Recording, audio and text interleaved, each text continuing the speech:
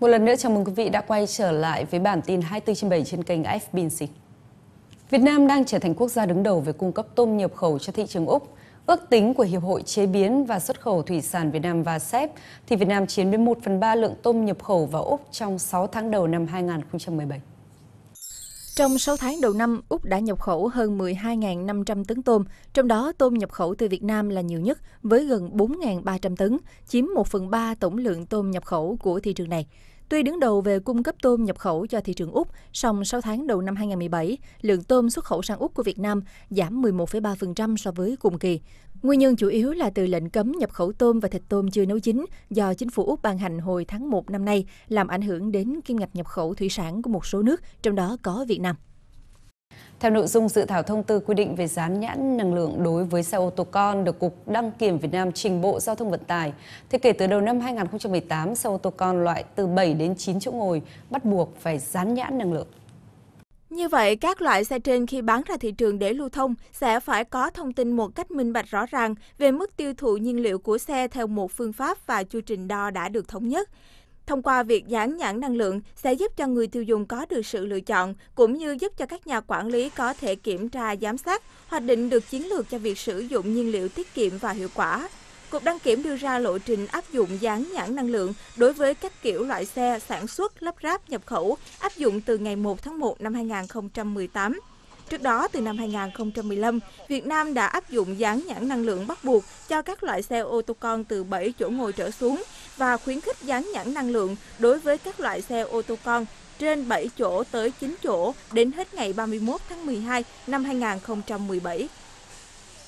Mỗi năm Việt Nam phải chi hàng tỷ đô la để nhập khẩu thuốc Tây phục vụ cho nhu cầu điều trị bệnh trong nước. Cập nhật của Tổng cục Hải quan thì tính đến giữa tháng 8 năm 2017, cả nước đã chi hơn 1,7 tỷ đô la Mỹ để nhập khẩu dược phẩm, tăng 5,8% so với cùng kỳ năm 2016.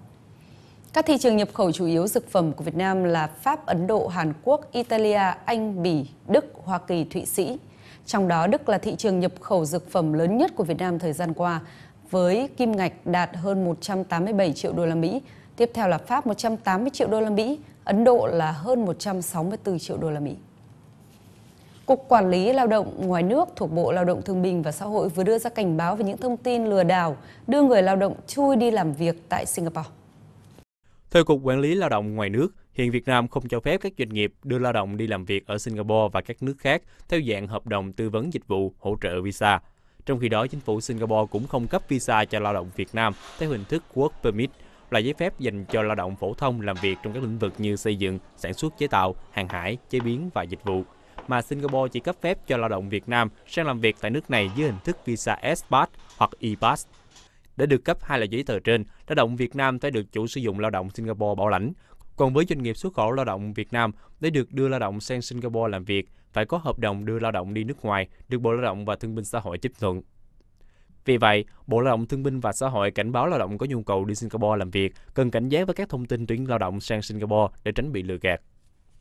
Thưa quý vị, Bộ Giáo dục và Đào tạo đang tổ chức lấy ý kiến về đề án tổ chức kỳ thi tốt nghiệp Trung học phổ thông quốc gia năm 2018. Theo đó thì kỳ thi vẫn có 5 bài thi như năm 2017, nhưng điểm mới nhất là bài thi tổ hợp dự kiến có sự điều chỉnh. Bộ Giáo dục và Đào tạo dự kiến phương án tổ chức thi năm 2018 gồm 3 bài thi độc lập gồm toán ngữ văn ngoại ngữ và hai bài thi tổ hợp khoa học tự nhiên, tổ hợp các môn vật lý, hóa học, sinh học và khoa học xã hội, tổ hợp các môn lịch sử, địa lý, giáo dục công dân. Đối với giáo dục thường xuyên, bài thi khoa học xã hội là tổ hợp của các môn lịch sử và địa lý. Điểm mới của kỳ thi Trung học phổ thông quốc gia năm 2018 là nếu như năm 2017, bài thi tổ hợp tách thành 3 đầu điểm theo từng môn thi thành phần, thì năm 2018, Bộ dự kiến có thể tổ chức mỗi bài thi tổ hợp được bố trí thành một bài thi hoàn chỉnh, chấm điểm chung với một đầu điểm thống nhất của toàn bài thi. Bài thi này vẫn có nội dung của 3 môn thành phần. Bên cạnh phương án dự kiến mới là thống nhất một đầu điểm đối với bài thi tổ hợp như trên, Bộ Giáo dục và Đào tạo cũng đưa ra một phương án là giữ nguyên việc tách bài thi tổ hợp thành 3 môn thành phần với 3 đầu điểm như năm 2017. Hiện Bộ đang lấy ý kiến của các trường đại học, học viện, trường cao đẳng sư phạm về việc nên tổ chức kỳ thi Trung học phổ thông quốc gia năm 2018. Du lịch luôn là niềm đam mê của nhiều bạn trẻ, tuy nhiên lựa chọn khởi nghiệp bằng du lịch trực tuyến liệu có phải là một con đường dễ đi? Và trên bước đường đó thì liệu dành bao nhiêu cơ hội thành công cho những người trẻ? Tại ngày hội Startup Day 2017 vừa diễn ra, chúng tôi đã có một số ghi nhận về các bạn trẻ lựa chọn du lịch là con đường khởi nghiệp cho mình. Xin mời quý vị cùng theo dõi. Trong khi phần đông những bạn trẻ khởi nghiệp lựa chọn các lĩnh vực mới lạ độc đáo, thì việc lựa chọn lĩnh vực du lịch trực tuyến là là một hướng đi có phần mạo hiểm và thách thức lớn. Bởi hiện nay đã có rất nhiều phần mềm website dịch vụ trực tuyến hỗ trợ đặt phòng, vé máy bay có sự tham gia của các tên tuổi nước ngoài như là Agoda, Booking, TripAdvisor.com, Expedia.com v.v. Mặt khác tại Việt Nam, một số tên tuổi của các doanh nghiệp trong nước như là chuyu24.com, ivivu.com, vinabooking.vn, mytour.vn, vntrip v.v. dù đã có mặt từ lâu nhưng vẫn chưa thực sự nổi bật khi phần lớn chỉ cung cấp cho thị trường khách nội địa và không phải ai cũng biết.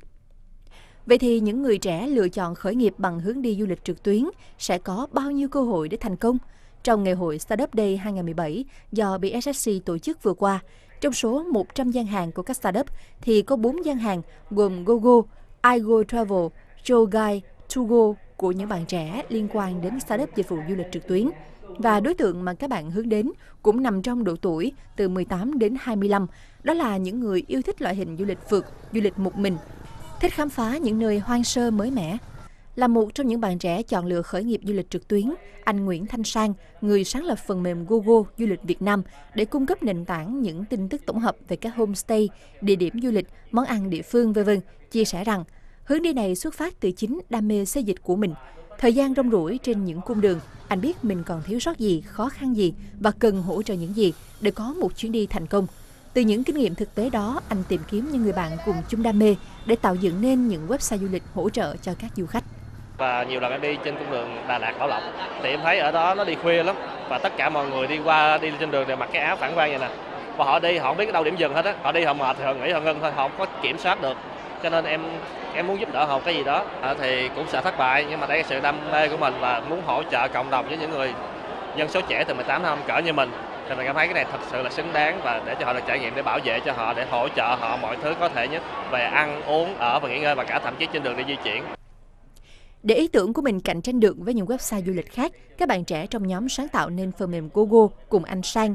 đã thiết kế hai chức năng mới là phượt chung và GPS nhóm, giúp tìm kiếm chính xác thông tin các địa điểm du lịch, dịch vụ hỗ trợ như là trạm xăng, ATM v.v. và cảnh báo cho tất cả các thành viên trong nhóm khi gặp sự cố điểm dừng. Một ý tưởng cũng sáng tạo không kém đó chính là phần mềm Chogai, kết nối hướng dẫn viên du lịch do anh Huỳnh Ngọc Trường sáng lập. Với ứng dụng này, giúp người dùng có nhu cầu kết nối với hướng dẫn viên được dễ dàng và nhanh chóng hơn. Hiện giờ thì cái app đầu tiên là mạng xã hội chia sẻ du lịch. Thì ở đó thì các bạn vào thì nó sẽ hệ thống sẽ gửi cho bạn chính xác cái điểm đến mà các bạn cần đi và tùy theo thời gian các bạn đi. Và tức là bạn cần đi du lịch vào tháng 3 thì gửi bạn địa điểm nên đi vào tháng 3 rồi từng cái địa điểm mà các bạn chọn rồi thì Yoco sẽ là tích hợp tất cả các dịch vụ ở điểm đến vào đó. Ví dụ bạn tới đó bạn có thể book khách sạn book nhà hàng book uh, vé máy bay book thì, uh, chọn người uh, hướng dẫn viên. Tất cả mọi thứ đều tích hợp vào và các bạn chỉ cần là vào Yoco là các bạn tích hợp tất cả các dịch vụ đó.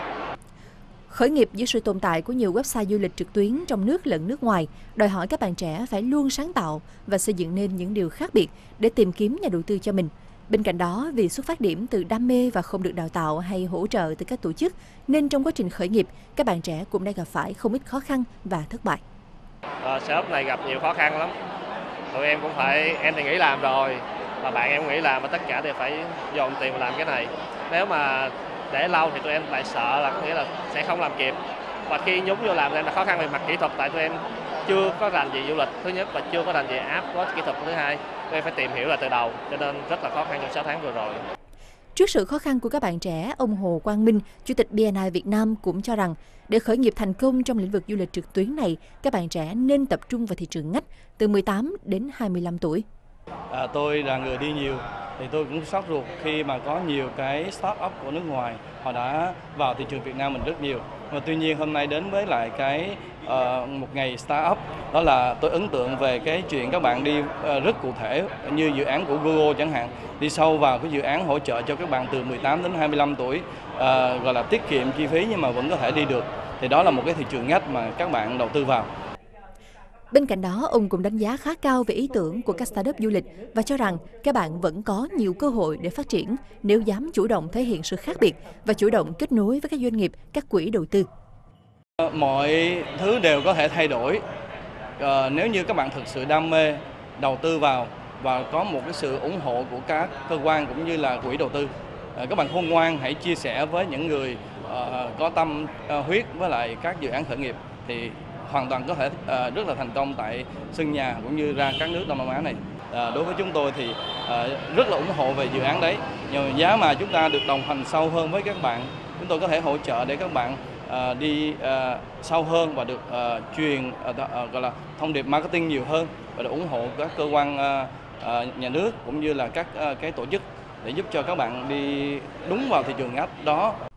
Với việc đón hơn 6,2 triệu lượt khách quốc tế đến Việt Nam trong 6 tháng đầu năm 2017, tăng 30,2% so với cùng kỳ năm 2016, kinh doanh du lịch trực tuyến tại Việt Nam được đánh giá là một lĩnh vực đầy triển vọng và hứa hẹn sẽ phát triển mạnh mẽ trong thời gian tới đây. Do đó, nếu ý tưởng khởi nghiệp du lịch trực tuyến sáng tạo và đột phá, các bạn trẻ đam mê du lịch vẫn có nhiều cơ hội khởi nghiệp thành công, thu hút được sự đầu tư của nhiều doanh nghiệp du lịch trong và ngoài nước. Và trong phần tiếp theo của chương trình sẽ là các thông tin chính như sau. Thành phố Hồ Chí Minh thí điểm sử dụng vé xe bus điện tử tại 34 trường học. Bộ Nông nghiệp và Phát triển Nông thôn khẳng định môi trường biển miền Trung đã phục hồi.